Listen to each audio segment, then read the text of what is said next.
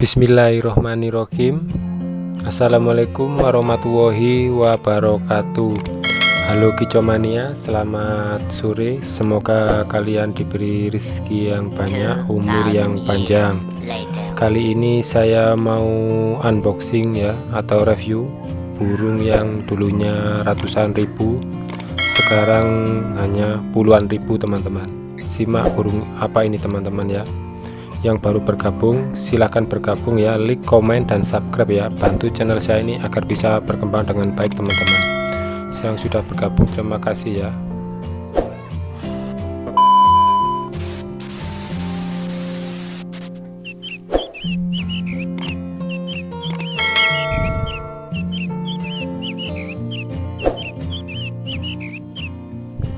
Di habitat aslinya burung ini tinggal di alam liar ya karena nggak ada burung itu tinggal di di di daerah kita itu ya tinggalnya di hutan teman-teman.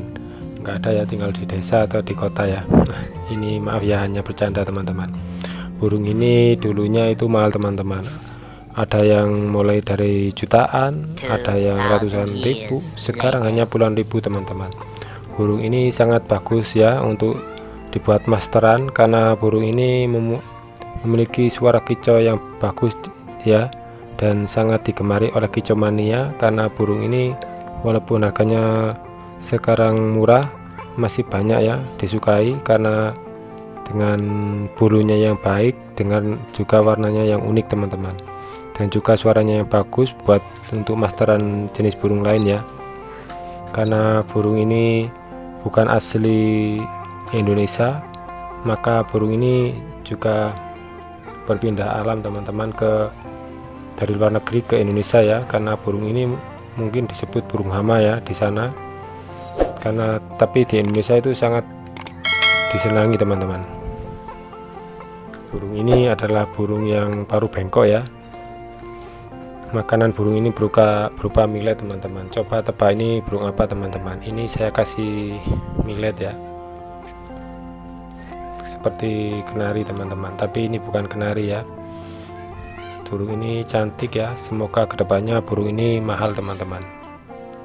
Tak usah lama-lama kita harus cepat unboxing ya agar kita bisa tahu ini burung apa teman-teman. Ini saya saya taruh di tempat wadah kenari ya karena nggak ada tempat teman-teman. Jadi nggak pakai kantong biar lebih biar lebih unik lagi ya. Tempatnya teman-teman. Ini saya masukkan ke dalam wadahnya berupa makanan kenari ya atau toples plastik kecil teman-teman. Ini sebelum kayak unboxing atau saya review saya buka dulu teman-teman burungnya warnanya hijau ya ada yang biru ada yang kuning ya. Banyak sekali warnanya dan jenisnya teman-teman. Ya ini burungnya ya. Coba tebak ini burung apa teman-teman? Ini saya harus hati-hati ya agar dia itu tidak lepas teman-teman. Ya ini burungnya teman-teman. Coba tebak ini burung apa teman-teman ini saya cek dulu ya sayapnya ternyata masih utuh ya walaupun dapat dari ombyokan teman-teman. Burung ini saya nggak beli ya. Sini saya habis menemukan di pekarangan rumah ya di belakang rumah ya. Ini adalah burung lovebird teman-teman ya atau burung lapet di bahasa Jawanya ya. Burungnya ini sangat cantik teman-teman. Sangat bagus ngekeknya saya menemukannya itu di belakang rumah ya. Nggak ada tempat. Lalu saya saya masukkan ke dalam wadah seperti ini teman-teman ya. Biar lebih unik ya. Ini saya nggak beli ya. Walaupun beli tapi kalau di di toko-toko burung itu ya mahal ya. Antara 25.000 hingga 30.000 teman-teman di daerah saya ya. Nggak tahu di tempat kalian itu berapa ya tapi kalau kita menjual ke bakul itu 15.000 ya. Murah sekali teman-teman. Jadi inilah burungnya ya. Semoga ke depannya burung ini menjadi mahal seperti yang tahun-tahun kemarin teman-teman ya. Yang baru bergabung silahkan bergabung ya. Like comment dan subscribe ya. Bantu channel saya ini agar bisa berkembang dengan teman. Untuk itu saya cek dulu ya kesehatannya walaupun ini enggak beli ya ini men saya menemukannya di belakang rumah teman-teman. Sangat sehat sekali ya burungnya. Ternyata burungnya itu sehat teman-teman. Walaupun saya menemukan itu ada di belakang rumah itu malah di malah di ada di samping rumah ya.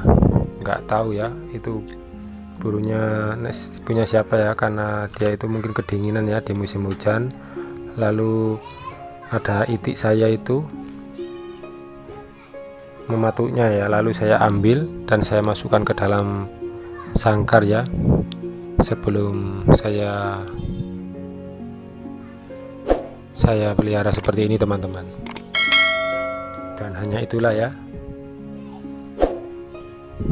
kali ini saya unboxing. Semoga teman-teman bisa terhibur ya dengan semua konten yang selalu saya sajikan untuk teman-teman ya dan sangat cantik sekali ya burungnya. Ini warnanya hijau dan muka merah ya. Dulu burung ini pernah mahal teman-teman. Jadi sekarang murah ya karena mungkin banyak yang peternak pasti semua orang mampu untuk membelinya ya karena harganya sekarang lebih murah daripada tahun yang lalu teman-teman.